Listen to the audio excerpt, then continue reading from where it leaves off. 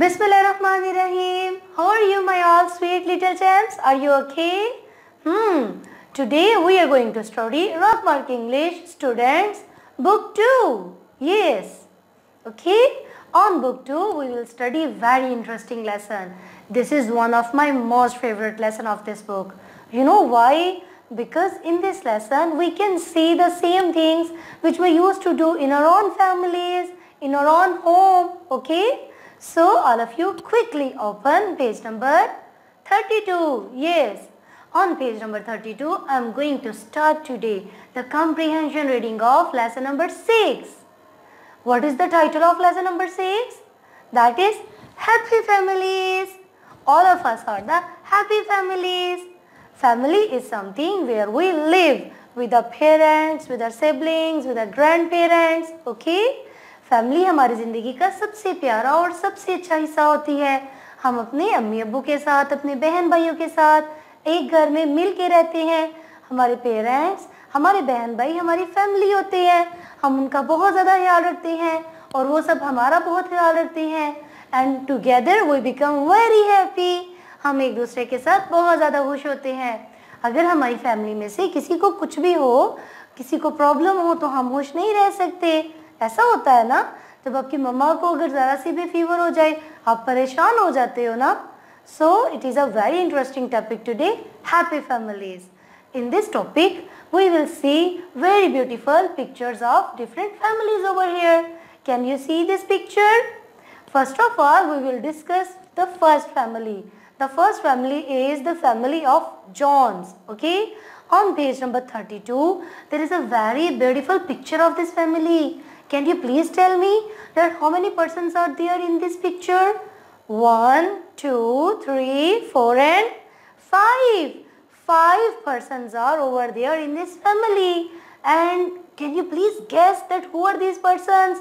There is a man who is sitting on a mat and he is reading newspaper. It seems to be that he is the father. And there is a lady and she is managing the radio and she seems to be the mother. Hmm. And on the bench, two boys are sitting. One boy is reading a book. That will be the brother of the family. And one boy is playing guitar. That would be the elder brother. And there is a girl also. She is standing behind the bench. Can you see this girl? So she is also reading something. She is the daughter of the family. In this family, there is one sister and two brothers and mama and papa are also present over there. It, is, it seems to be very nice and happy family. Will you please tell me that how many members do you have in your family? आपकी family में कौन कौन है how many siblings do you have कितने बहन भाई हैं आप लोग क्या आप भी सब मिलके बैठ के एंजॉय करते हैं ओके okay, अब आप मुझे ये बताएँ look at this picture and tell me ये सब लोग कहाँ पर बैठे हुए हैं वेयर आर दे टुडे आज ये लोग कहाँ गए हुए हैं? Are they in the bedroom in the drawing room no so where are they they are in a park it means ये सब लोग पार्क में इंजॉय करने आए हैं और मिलके अपनी अपनी मज़े मज़े की एक्टिविटी कर रहे हैं। It seems to be very nice and interesting the sun is shining bright behind it is a very beautiful sunny day and the birds are chirping on the tree It means birds are also very happy. Wow, it is a very beautiful picture of a happy family. Would you like to read something about this family? क्या आप चाहते हैं इस प्यारी सी तस्वीर के बारे में हम कुछ पढ़े चलो चलो जल्दी से हम पढ़ते हैं कि इस तस्वीर के बारे में इस बुक में हमें क्या बताया जा रहा है इस प्यारी सी हैप्पी फैमिली के बारे में हमें क्या बताया जा रहा है first I will do the simple reading then we will discuss the unfamiliar new words and then I will do the comprehensive reading for you and then I will ask you different comprehension questions. So are you attentive? All of you are attentive? Picture comprehension is clear to you?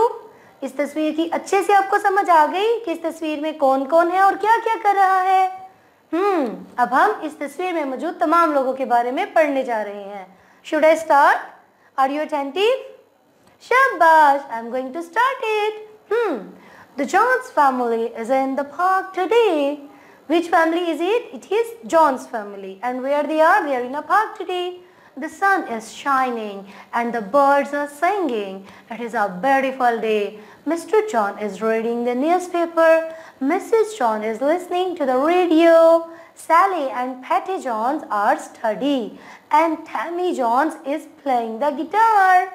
The John family is very happy today. It is a beautiful day and they are in the park. Hmm.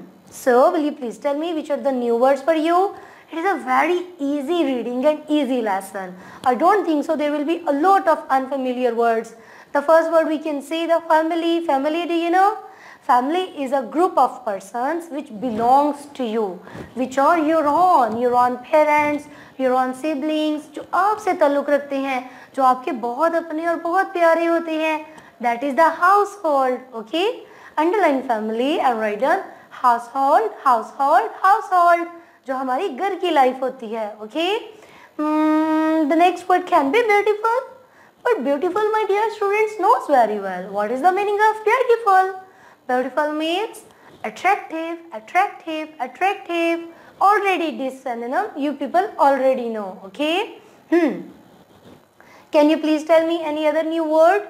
What is the next word for you? Listening means to listen something and, and, and studying. Underline studying. What is the synonym of studying? Studying. Learning or reading. Yes. To learn, read. To learn or read. To learn or read.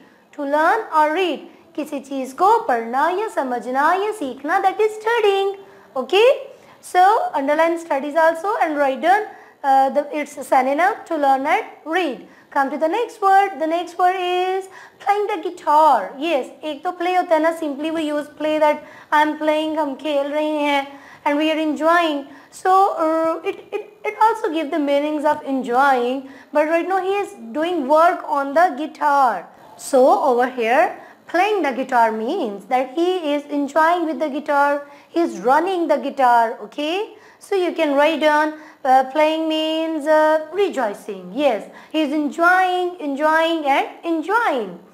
The next word guitar, do you know? Guitar is easy word. Do you know what is the guitar? Guitar is musical instrument अगर किसी बच्चे ने नहीं देखा हुआ तो आप इस पिक्चर में देख सकते हैं one boy sitting over there ना and he is playing guitar उसके हाथ में गिटार है that is a musical instrument अक्सर सिंगर्स के पास ये होता है okay so guitar means musical instrument musical instrument musical instrument so happy amusing and then happy also and write down amusing amusing and amusing. It means that this lesson gonna be very easy for you. हमें कोई ज़्यादा words तो मिले ही नहीं इसमें, जो unfamiliar words हों, और बहुत ईजी लैंग्वेज में वो हमें बहुत मज़े की बात बता रहे हैं। So quickly I will come back to the passage for the comprehension reading the Johns family is in the park today where is the Johns family today आज जॉन की फैमिली कहाँ पर है they are in the park they are in the park today Johns family is in the park आज वो सब park में आए हुए हैं और वहाँ पर कैसा मौसम है the sun is shining and the birds are singing सूरज चमक रहा है and the birds are singing the songs और परिंदे भी मज़े मज़े के सॉन्ग्स गा रही हैं। आपने पिक्चर में देखा है ना? The sun is shining bright and the birds are singing it is a very nice sunny day it is a beautiful day it's a very attractive day Mr Johns is reading a newspaper Mr John बैठ के बड़े मज़े से newspaper पढ़ रही हैं। Mrs John is listening to the radio Mrs John zone सी हैं वो रेडियो सुन रही हैं Sally and Patty Johns are study there is a small boy he is sitting and he's studying in the yellow shirt that is Patty okay Patty Jones and the girl who is standing behind that is Sally so Sally and Patty both of them what they are doing they are studying okay वो अपनी books घर से लेकर आए हुए हैं और वो मज़े से अपनी पढ़ाई का काम कर रही हैं but and Tammy Johns is playing the guitar लेकिन जो थैमी जॉन्स है, टैमी जॉन्स तो गिटार प्ले कर रहा है। वो मज़े से गिटार के साथ इंजॉय कर रहा है। The Johns family is very happy today और जॉन्स फैमिली तो बहुत ज़्यादा खुश है। They all are very happy today it is a beautiful day and they are in the park ये एक खूबसूरत दिन है और वो सब के सब एक पार्क में है। ये तो बहुत ही इजी और इंटरेस्टिंग सी कंप्रीहेंशन रीडिंग थी। क्या आपको ये सब बातें समझ में आ गई हैं? No, it's your turn. You have to tell me that what the father is doing. What is the Mr. John is doing? Mr. John is reading newspaper. And what is the Mrs. John doing? Mrs. John is listening the radio. She is listening music. And what the birds are doing? The birds are singing the songs.